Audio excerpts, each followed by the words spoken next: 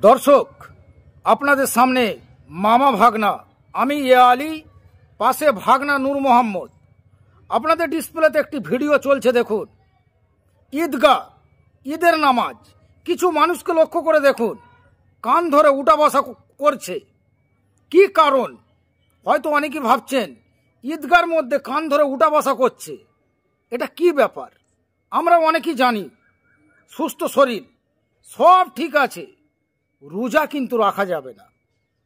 গুটখা খেতে হবে, তিলঙ্গা খেতে হবে, বিড়ি সিগারেট খেতে হবে, বাসন বাসন ভাত খেতে হবে সব কিছু অসুস্থ ব্যক্তিদের ব্যাপারটা আলাদা। সুস্থ ব্যক্তিরা কিন্তু রোজা রাখে না। ঈদগায় গিয়েছে নামাজ পড়তে। ইমাম সাহেব হাত তুলতে বলেছে যে, কে কে রোজা রেখেছো? কে কে রোজা রাখুনি, হাতটা তোলো। হাত তুলেছে যারা রোজা রাখেনি। কারণ ওই জায়গাতে বসে তো মিথ্যা কথা বলা যাবে না। তখন ইমাম সাহেব বলেছে যে, আল্লাহর কাছে ক্ষমা চাও, কান ধরে উঠা বসা করো। যদি আল্লাহ তোমাদেরকে মাপ করে, হয়তো মাপ হতে পারে।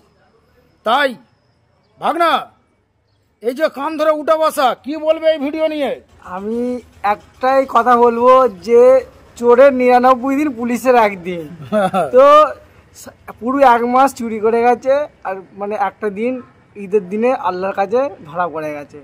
তো সেই উদ্দেশ্যে বলব যে আগে সামনে যে রমজান মাস আসবে সকলকে অনুরোধ করব রোজা রাখার। ব্যাস এইটুকুনি দর্শক আপনারা ভিডিওটি দেখুন তারপর কথা আগে বড়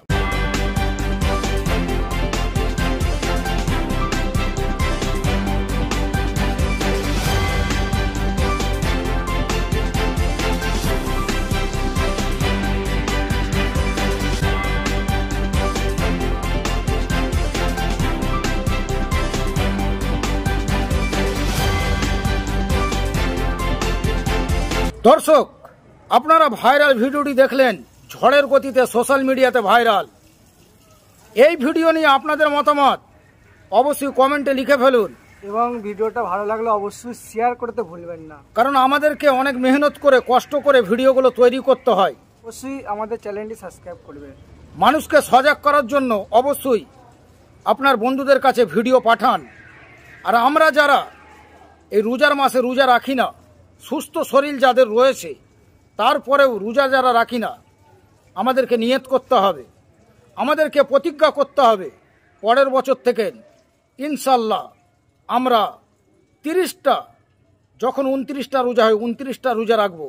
যখন তিরিশটা রোজা হয়, তিরিশটা রোজা রাখব। ভিডিওতে আপনাদের মতামত তো অবশ্যই কিন্তু কমেন্টে জানাবেন। আর আপনাদেরকে আবারও অনুরোধ করছি, ভিডিওটি শেয়ার করুন। সকলে ভালো থাকবেন। জয় হিন্দ। জয় সোনার বাংলা।